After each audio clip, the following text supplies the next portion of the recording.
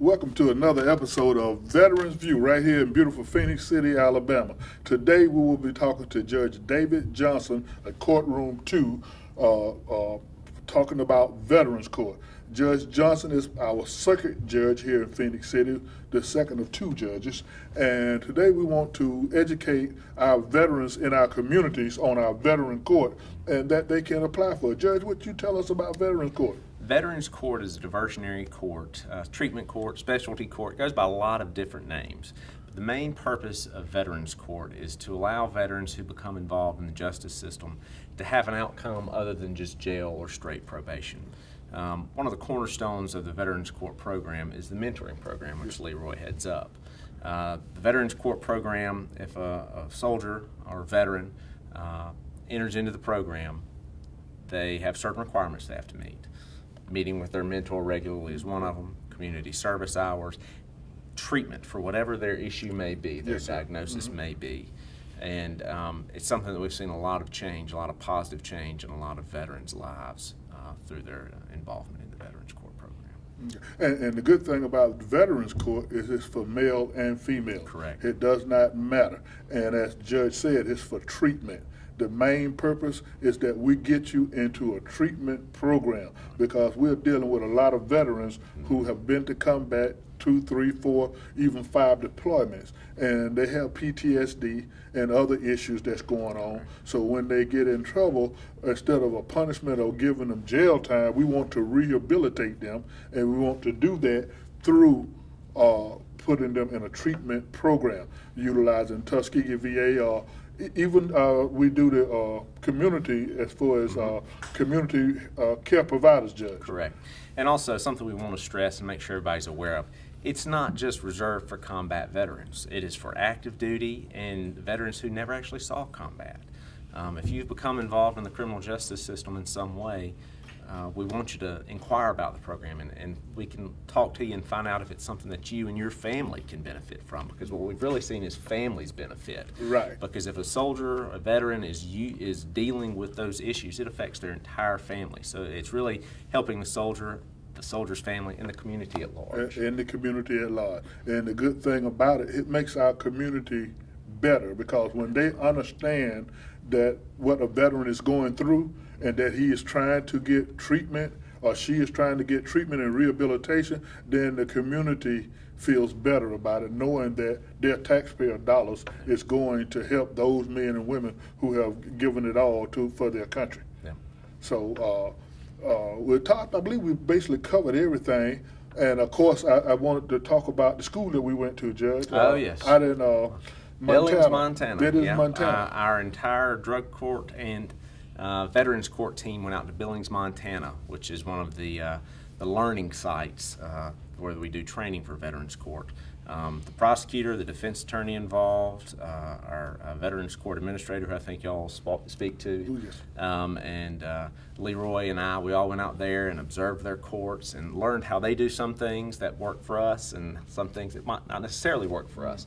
But by us attending that uh, that school and that, that program, it makes us uh, more eligible for federal funding so that we can expand the program. Right. The main thing we're trying to do right now, though, is increase the numbers of people in the program by reaching out into the community, and that's part of what we're doing here today, is trying Yes. to make people aware that active duty, retired, whatever it may be, if you've served, you have the right to apply, and we will help you determine whether or not it's the right program for you. Yes, sir. And as the judge said, it does not matter if you are going to court and you are a veteran. Then ask about the Veterans Court program. So Never that- hurts to ask. So, and it may even, uh, well, we're going to get you in a treatment program because we owe that to you. So please don't be afraid to ask for the help that you so honestly deserve. Okay? Thank you. They are the greatest fighting force the world has ever seen.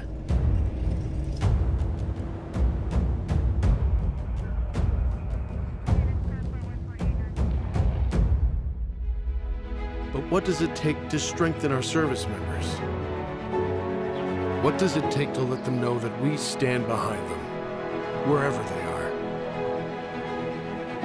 What does it take to bridge the distance? and keep them connected to family, home, and country? And what does it take to prepare them for their future when their service to the nation is complete? What does it take to strengthen our service members so they can be the greatest force for good in the world? It takes a force. Be a force behind the forces. Share a message today at force.uso.org. And we're here with uh, Tommy Powell. He's the coordinator for drug court as far as uh, urinalysis, uh, different uh, drug testing for veterans in our veterans court. And uh, I just gave a little bit of what Tommy does. So what we want to do today, Tommy, is for you to tell us what you role you play in veterans court.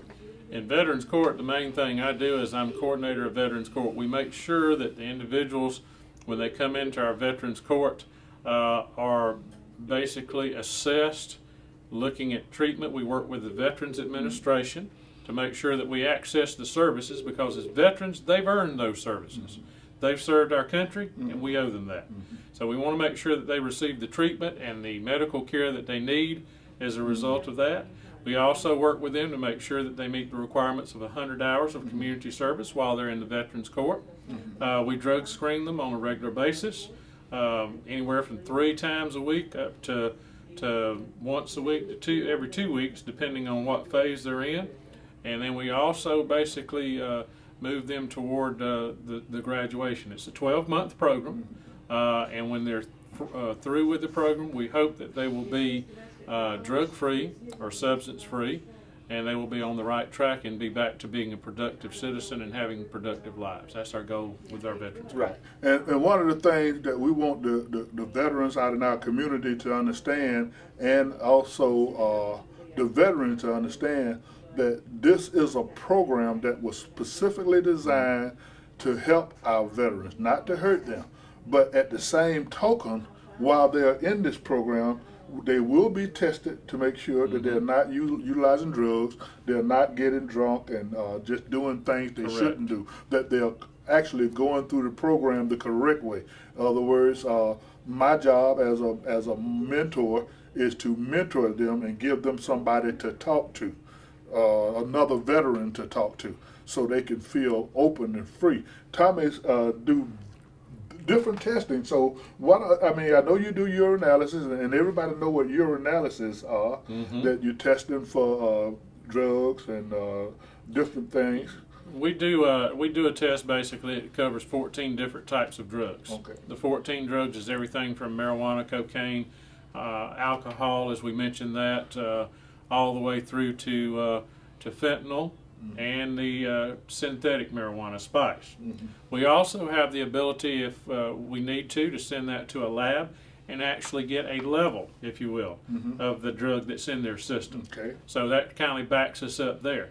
We also have the ability now to do skin patches, which basically test them using the sweat from their skin. And also, uh, we can do hair follicle tests, where it will take a piece of their hair, and you can go back 90 days and figure out what's been going on with their substance use in the last, uh, you know, 90 days. So we do all of that.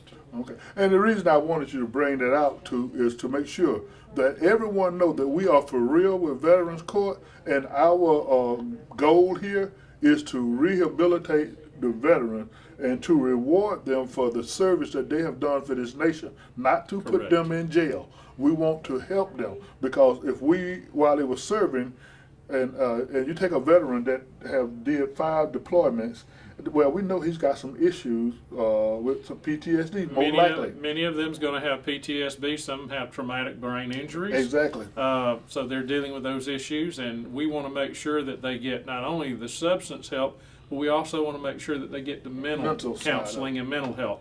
And like you say, they've earned those serv- that those services as a result of serving our country, and they should be able to access those. So many times our veterans don't know how to access those services that the VA does offer them. And, and that's another purpose for this show is that when a veteran or your wife is looking at this program, your daughter or your granddaughter, that they know, hey, there's a veterans court. Instead of going to regular court, why don't you go to veteran court Mm-hmm. so you can get some treatment? And that's the whole goal is to get this message out in the community to our veterans, to our pastors, to our uh, community leaders, to let your citizens know, to our commissioners, to let your citizens know, to our city council, that Veterans Court is available. Right. And uh, is there anything else you'd like to cover? We just want everybody to know that are veterans out there, veterans family members, that we're here. We want to want them to be aware that we're here to help. We care what happens to our veterans, and we want to make sure that they're they're helped in any way that we possibly can with the services, with medical care, with mental health counseling, and uh, that's what it's all about.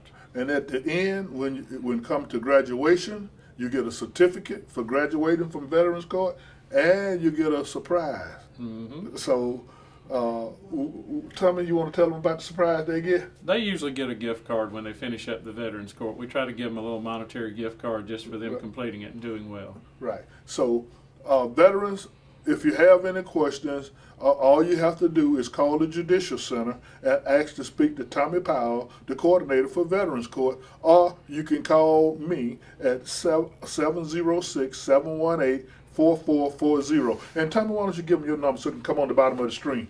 All right, you can reach me at 334 214 9468. That's my office number. That's your office now. And you can get an application from me or Tommy for Veterans Court. Thank you.